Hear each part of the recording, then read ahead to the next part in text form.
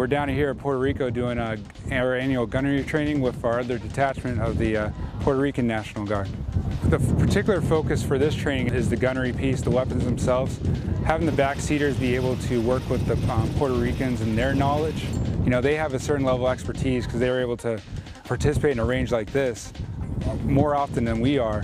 Being able to lean into that and get our guys familiarity with the weapon systems is you know invaluable and increases our level of training dramatically and makes us able to do training like this up in New Hampshire and the surrounding areas at Fort Drum.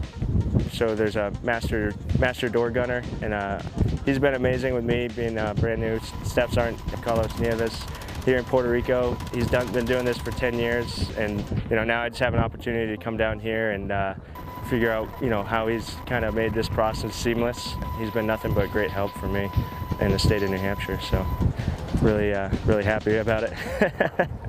I'm excited. I feel pretty good uh, being able just to keep uh, training with our sister unit. We just came back from a deployment a year ago. We were in K4 together.